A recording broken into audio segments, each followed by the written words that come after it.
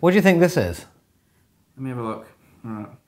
Like maybe seaweed or. Um... It definitely looks like something from the sea, like a. Okay, well, it's interesting mathematical seaweed, and I'm going to explain exactly how we made that image. Because to me, that image is one of the most mind blowing pictures, illustrations of very simple maths ideas. So it is, and we're going to get there, the Collatz conjecture.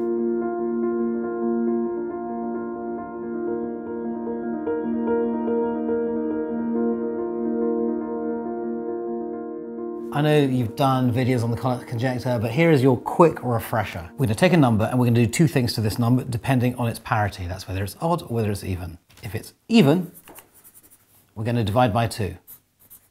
And if it's odd, we're going to multiply by 3, so triple it, and add 1. Which will then make it even. Which will then make it even, and then we know what we do with even numbers, we divide them by 2. Let's say start with, say, 13. So 13 is odd, so multiply it by 3 and add 1. So 13 will go to 39, well, 1, 40, it goes to 40. Okay, it's even, so divide that by 2, goes to 20. Okay, we divide that by 2, goes to 10. Oh, again, divide by 2 goes to 5. Uh-oh, odd. Multiplied by 3, 15, add 1, 16, that goes to 16. And then look, 16 to 8, to 4, to 2, to 1. The conjecture made by Collatz is that every number that you choose is eventually going to go down to, num to 1.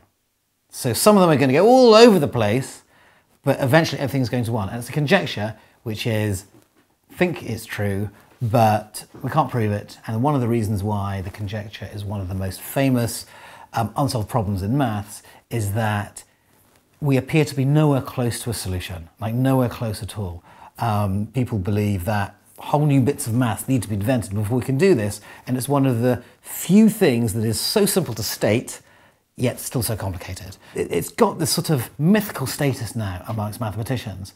And what I want to do is show how Edmund Harriss, who is a mathematician who I work with, has created this amazing image illustrates what's going on with Collatz. And when he first showed it to me, I was like blown away. I've started at 13 and done a line like that actually already what people do is you can build this big tree because eventually things are going to have to get to one. So if they get to one, they're going to have to come from two, then they're going to have to come down from four, and so you can build this big tree. What you see with the tree is that you see you've got all these branches coming down like this, you know, and, and, and going into it. And normally when you see this done, they're done to try and maximize the sort of logic of how it's done. So the distance will be the same, they'll be done so it like kind of looks, looks, looks good on the page and it looks like something in a math textbook. But actually what Edmund has done is to make it so it's interesting to look at but so that you get more of an insight about why this whole problem is interesting. Imagine if we start at the bottom. Either we're going to go up to an odd number or an even number. If we're going to an even number, then it's going to slightly go off in that direction. And if it's going to an odd number, it's going to slightly in that direction. So clockwise or anti-clockwise? Yeah, anti-clockwise for odd and clockwise for even. And then you get the tree becomes this.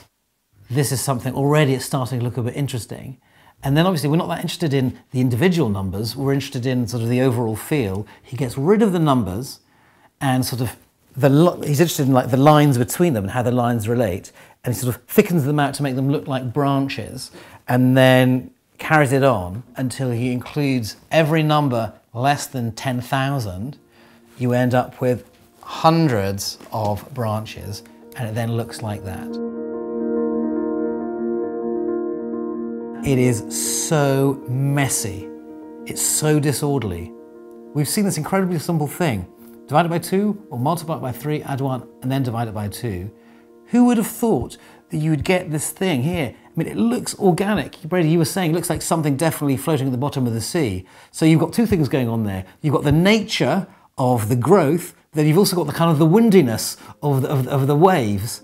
And to think that something so natural looking, something so organic, something so complicated comes from something so simple.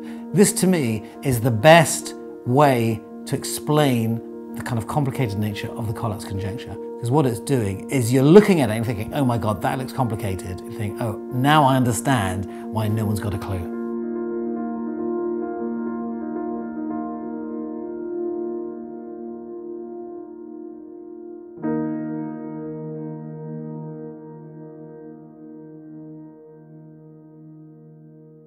If you've enjoyed this video and want to dig even deeper into the world of knowledge, why not check out the Great Courses Plus?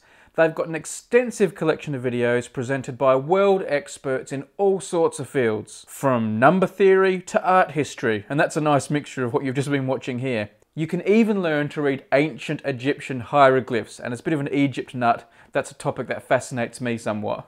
Unlimited access to the full catalogue of videos costs $14.99 a month, but you can sign on for a month-long free trial to see just how good it is. Go to thegreatcoursesplus.com slash numberphile to check them out. This is a great place to learn amazing stuff from professional teachers, but at your own pace. You can use your TV, tablet, computer, or phone.